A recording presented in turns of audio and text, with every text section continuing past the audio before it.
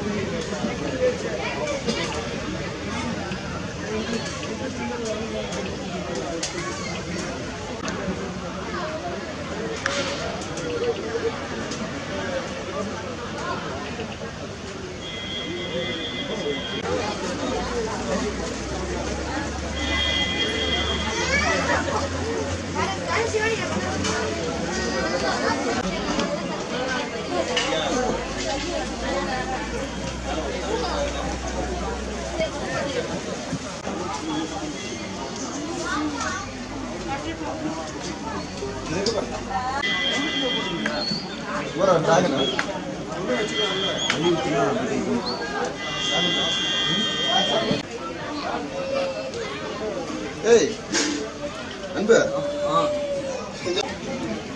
மட்டும்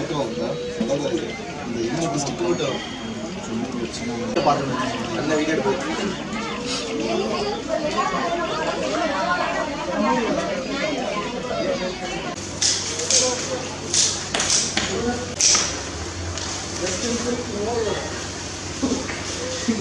அப்பா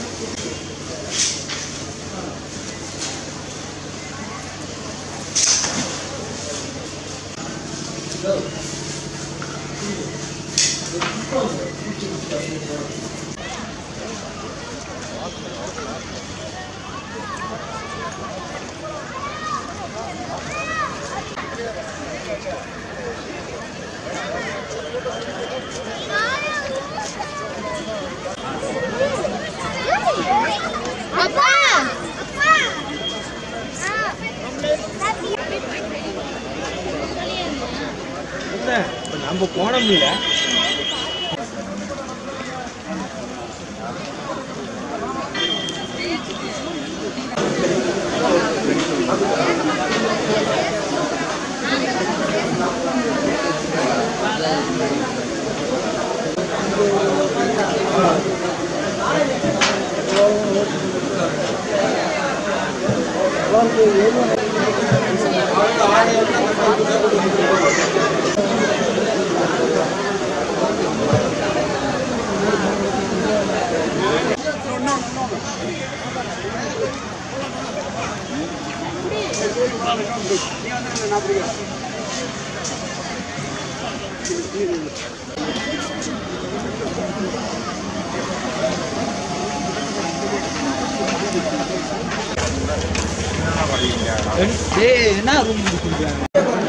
ஐம்பத்தி ஏழாவது மலர் கண்காட்சியை பார்வையிட்ட பின் மாண்புமிகு தமிழக முதலமைச்சர் அவர்கள் மாண்புமிகு அமைச்சர்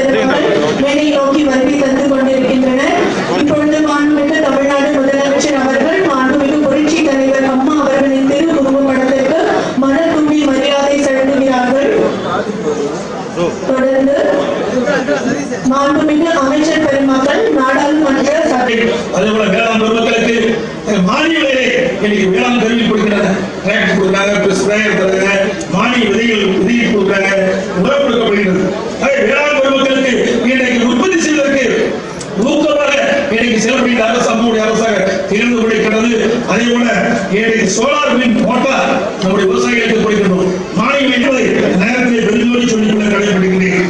அதேபோல ஒவ்வொரு ஆண்டும் இதே புரட்சி தலைவர் அம்மாவுடைய பிறந்தாமல் வருகிற பொழுது மரக்கன்று நடுகிறோம் ஏன்னா மரம் வளர்ப்பது நம்முடைய கடமை. இயற்கை வளம் இருந்தால்தான் மழை பொழியும் மழை பொழியால்தான் நீர் கிடைக்கும் நீர் கிடைத்தால்தான் ஏழாம் பெருமக்கள் சிறந்த விவசாயி மேற்கொள்வார்கள் குடியிருக்கு தேவை நீர் கிடைக்கும்.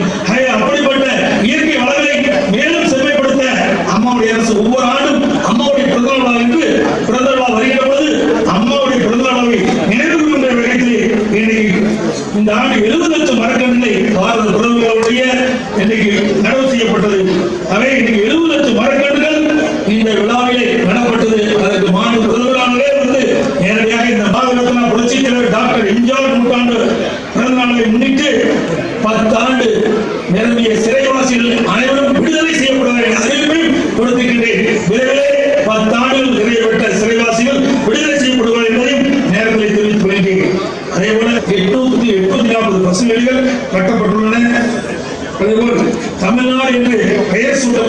சூட்டப்பட்டு காலம் இன்றைக்கு நிறைவடைந்து ஒட்டி அரசு சார்பில் தமிழ்நாடு பொன்விழா ஆண்டாக கொண்டாடப்பட இருக்கிறது என்பதையும் நேரத்தில் தெரிவித்து விரும்புகிறேன் அதேபோல தெரிவித்துக் கொள்ள விரும்புகிறேன் அதேபோல காவிரி நதியின் பிரச்சனை பற்றி மாண்புக்கு நம்முடைய வனத்துறை அமைச்சர் அழகாக குறிப்பிட்டார் இன்னைக்கு காவிரி நதி என்பது ஒரு ஜீவ நதி. இன்றைக்கு அந்த காவிரி நதியில் இருந்துதான் இன்றைக்கு இருபது மாவட்டங்கள் குடியினுடைய ஆதாரங்களை பெறுகின்றன காவிரி நதிநீர் பிரச்சனை சம்பந்தமாக பொன்மனச்சம்பளம் புரட்சி தலைவர் எம்ஜிஆர் அவர்கள் ஆயிரத்தி தொள்ளாயிரத்தி எண்பத்தி ஆறாம் ஆண்டு நடுவர்மன்றம் அமைக்க வேண்டும் என்று மத்திய அரசுக்கு கடிதம் மூலம் கோரிக்கை வைத்தார். மத்திய அரசு நடுவர்மன்றம் அமைக்க ஒரு இடைக்கால தீர்ப்பு வழங்கியது இருநூத்தி அஞ்சு டீம்ஸ் தண்ணீர் வழங்குவதற்கு கிடைக்க வேண்டும் என்று ஆணையிட்டது. மத்திய அரசு கடிதம் கோரிக்கை வைத்தார். மத்திய அரசு நடுவர் மன்றம் அமைக்க அமைத்து அந்த நடுவர் நடத்தின் மூலமாக இருநூத்தி டிஎம்சி தண்ணீர் தமிழருக்கு கிடைக்க வேண்டும் என்று அந்த ஆணையம் ஆணையிட்டது. நடுவர் மன்ற ஆணையம் தனது இருபத்தி இறுதி தீர்ப்பை இரண்டாயிரத்தி ஏழுல வழங்கியது. நடுவர்மன்ற ஆணையம் வழங்கிய தீர்ப்பை மத்திய அரசு கிடைப்பில் போடப்பட்டது. அரசின் வெளியில காலம் கடத்தியது. நாம் இதே புரட்சி தலைவி அம்மாவர்கள் உச்ச நீதிமன்றத்திலே வழக்கு தொடர்ந்து உச்ச நீதிமன்றம் இரண்டாயிரத்தி மூணுல தீர்ப்பு வழங்கியது. அந்த தீர்ப்பிலே மத்திய அரசு உடனடியாக வழங்கிய தீர்ப்பை மத்திய அரசில் வெளியிட வேண்டும் என்று ஆணையிட்டது. அதன் வாயிலாக மத்திய அரசு மத்திய அரசியல் நடுவர்மன்ற தீர்ப்பை வெளியிட்டது. நடுவர்மன்ற ஆணை வழங்கிய தீர்ப்பின்படி நூத்தி தொண்ணூத்தி ரெண்டு டிஎம்சி தண்ணீர் திறந்துவிட உரிய நடவடிக்கை எடுக்க வேண்டும் என்று மத்திய அரசை வலியுறுத்தினால் மாண்பு அம்மாவர் ஆனால் மத்திய அரசு உரிய நடவடிக்கை எடுக்காதா மாண்பு அம்மாவை உச்ச நீதிமன்றத்தில் வழக்கு தொடர்ந்தார்கள். மாண்பு அம்மா தொடர்ந்த வழக்கை அம்மாவின் அரசு திறமை அனைத்து ஆதரவுடன் திறமையாக மூத்த வழக்கினை வைத்து வாதாடியின் விளைவாக இன்றைக்கு நல்ல வாதங்களை எடுத்து வைத்து உச்ச நீதிமன்றத்திலே நேற்று தினம் முப்பது ஆண்டு காலம் முப்பத்தி ரெண்டு ஆண்டு காலம் நடந்து வந்த காவிரி நதியின் பிரச்சனை தீர்வு காண்கின்ற வகையில் நல்ல தீர்ப்பை உச்ச நீதிமன்றம் தமிழ்நாடு அரசு பெற்றுத் தந்துள்ளது என்பதை நேரத்தில் தெரிவித்துக் கொள்ள கடமைப்பட்டிருக்கிறேன். மாண்பு அம்மாவர் தமிழக மக்களுக்காகவும் விவசாயிகளுக்காகவும் மெரினா கடற்கரை எம்ஜிஆர் நினைவிடத்தில் தொடர்ந்து எண்பது மணி நேரம் உண்ணாவிரதம் வந்த தலைவி புரட்சி தலைவி அம்மாவர் ஆனால் அண்ணா திராவிட முன்னேற்ற அரசு மாண்பு அம்மாவர்கள் எடுத்த முடிவின்படி அம்மாவின் அரசு வரலாற்று சிறப்புமிக்க தீர்ப்பை உச்ச நீதிமன்றம் உச்ச நீதிமன்றத்தின் மூலம் நேற்றைய தினம் பெற்று தந்துள்ளது. இந்த வரலாற்று சிறப்புமிக்க தீர்ப்பு பெறுவதற்கு பாடுபட்ட இதே புரட்சி நாம் என்றென்றும் நன்றி சொல்லுவோம் நான்கு அம்மாவர்கள் இந்த பூமியில் இருந்து மறைந்தாலும் அம்மாவர்கள் செய்த சாதனை மக்கள் மனதில் இன்றும் நிலைத்து நிற்கும். அதுதான் தலைவனுக்கு கிடைக்கின்ற பெருமை.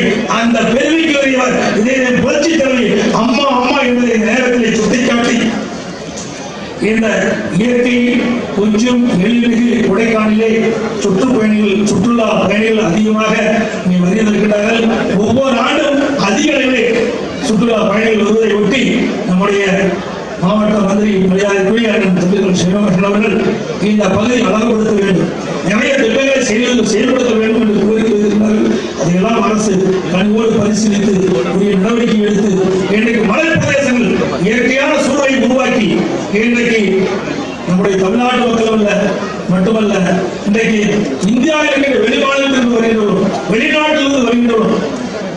கண்டு கழித்து மகிழ்கின்ற அளவிற்கு இயற்கை கொஞ்சுகின்ற மலையாக ஏற்காடு உலகமண்டம் மற்றும் கொடைக்கால் ஆகிய மலை பிரதேசங்கள் தேவையான நடவடிக்கையை அம்மாவுடைய அரசு எடுக்கும் என்பதை இந்த நேரத்தில் தெரிவித்து வாய்ப்புக்கு நன்றி விடுகிறேன் நன்றி வணக்கம். வருவாய்த்துறை சார்பாக பேரிடர் நிவாரணம் பெறுபவர் திருமதி பாப்பாத்தி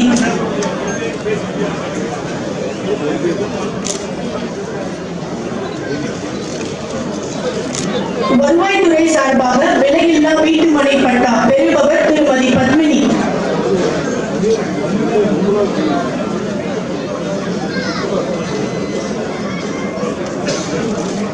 வருவாய்த்துறை சார்பாக சமூக பாதுகாப்பு திட்டம் முதியோர் உதவித் தொகை பெறுபவர் திருமதி மாரி ராயி